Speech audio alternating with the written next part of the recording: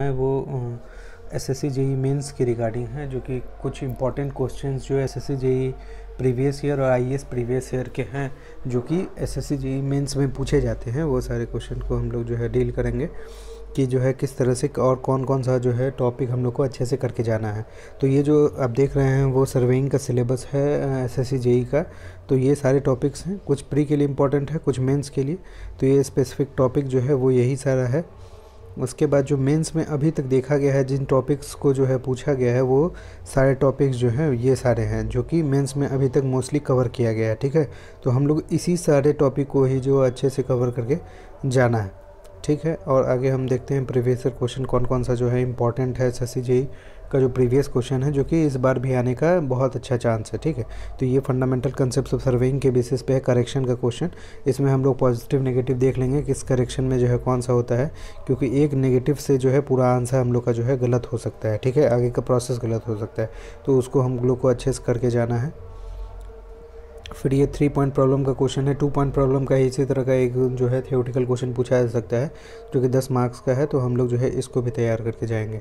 ठीक है three point problem है और इसका स्टेप वाइज लिखा हुआ है पूरा एकदम ये भी सी पॉइंट करके तो हम लोग इसको जो है तैयार करके जाएँगे। ये वाला क्वेश्चन जो है वो आपको जो पूछा गया है कि कौन सा डिस्टेंस कितना डिस्टेंस होगा? बियरिंग वगैरह दिया है तो हम लोग जो है डायग्राम ड्रॉ करके ट्वेंटी मार्क्स का क्वेश्चन पूछा गया है, जबकि बहुत ही ईजी क्वेश्चन है ये, ठीक है? तो इसको जो है सिर्फ़ थोड़ा सा सोचने वाला था क्वेश्चन और विथ ऑफ़ द रिवर हमको निकालना है, ठीक है? ये थियोटिकल क्वेश्चन है दस नंबर का, जो कि थ्योरीलाइट ट्रैवर्सिंग के से रिलेटेड है और डिफ्लेक्शन एंगल मेथड को डिस्क्राइब करने के लिए बोला गया है।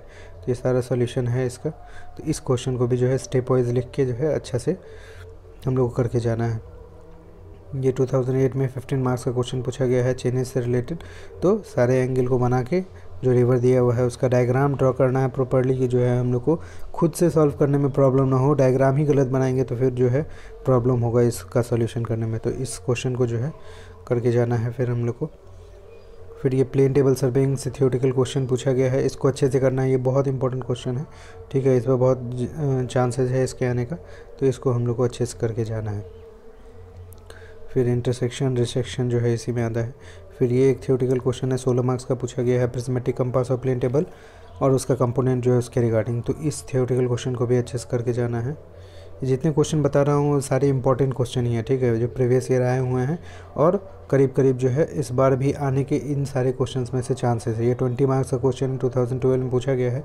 होल सर्किल बियरिंग को एक्सप्लेन करने बोला गया है और एक न्यूमेरिकल पूछा गया है, ठीक है? तो इंटीरियर एंगल इंक्लूडेड एंगल वाला जो क्वेश्चन होता है, काफ़ी इंपॉर्टेंट हो जाता है। तो डायग्राम अच्छे से ड्रॉ करके हम लोग इसको सीख के प्रैक्टिस करके जाएँगे। डायरेक्टली अगर याद करके या उस तरीके से चले जाएँगे तो वहाँ पर सॉल्व नहीं होगा, ठीक है? तो उसको अच्छे से हम लोग को तैयार करके ही जाना है। ये एक थियोटिकल क्वेश्चन पंद्रह मार्क्स का है 2016 में पूछा गया है।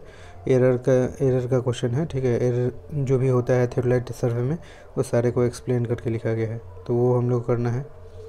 फिर एक करेक्ट बियरिंग निकालने के लिए जो है क्या होगा इसका? और लोकल अट्रैक्शन ये भी बहुत इंपॉर्टेंट क्वेश्चन है। इस तरह के क्वेश्चन जो है प्रेफर करता है एस पूछना, ठीक है? तो इसको जो है हम लोग को अच्छे से करके जाना है। डायग्राम अच्छे से ड्रॉ करना है। एकदम फॉर्मेट जैसा बनाया गया है, उसी फॉर्मेट में सॉल्व करके आना है। करेक्शन वगैरह निकाल के फिर इंक्लूडेड एंगल हम लोग निकाल लेंगे। ठीक है? तो इस करेक्शन वाले क्वेश्चन को जो है हम लोग को कर लेना है। करके जाना है। ये जो है एक थियोटिकल क्वेश्चन बीस मार्क्स का पूछा गया है true magnetic bearing local attraction back bearing magnetic declination तो इससे रिलेटेड भी क्वेश्चन जो है करके जाना है।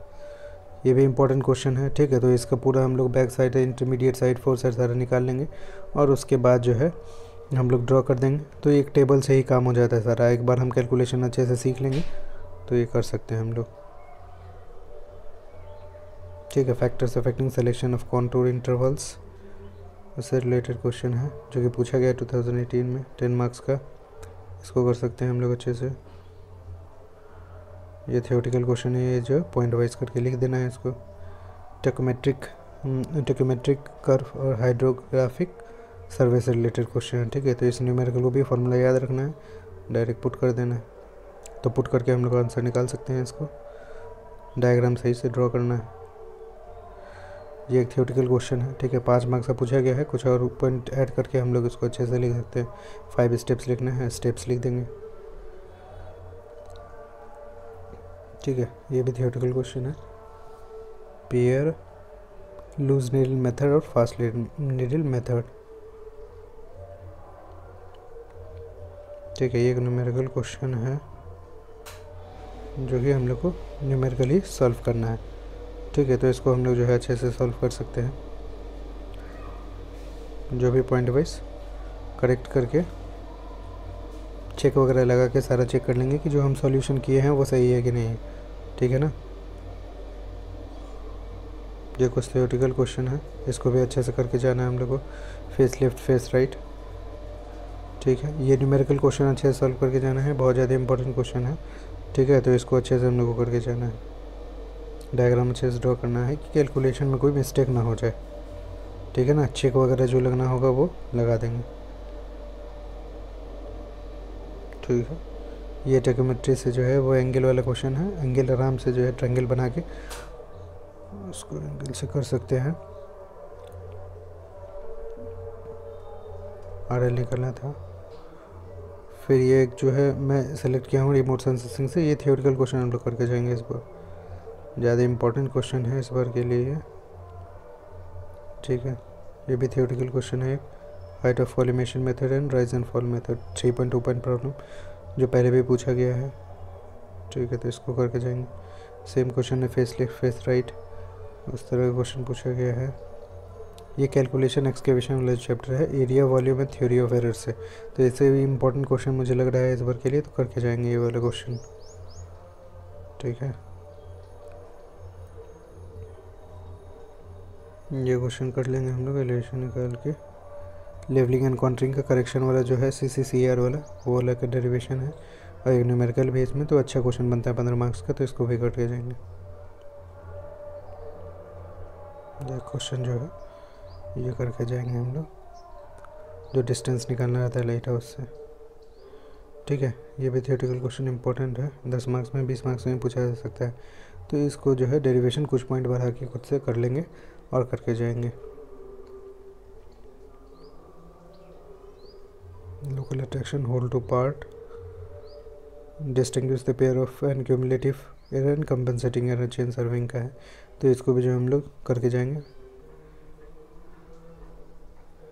और ये भी बहुत इंपॉर्टेंट क्वेश्चन है, इसको हम लोग करके जाएँगे। आई में 2018 में पूछा गया ये क्वेश्चन तो इस क्वेश्चन को भी हम लोग करके जाएँगे अच्छे से। बहुत ज़्यादा चांस है कि पूछा जाए। ठीक है ना? ग्रेडियंट निकलना था। ये भी एक थियोरिकल क्वेश्चन है सेंसिटिविटी से रिलेटेड तो इसको भी जो है हम लोग बबल ट्यूब के लिए एक क्वेश्चन है। इजी क्वेश्चन है, अगर फॉर्मेट से हम करके जाएँगे तो कर ले जाएँगे इसको। ठीक है पॉइंट वाइज अच्छे से सारे कॉन्सेप्ट को सॉल्व करना है, समझना है प्रैक्टिस करना है जो मेजर टॉपिक्स है, और उसके बाद ही जो है अटेम्प्ट करना है। जितना प्रैक्टिस करेंगे, उतना ज़्यादा फ़ायदा होगा।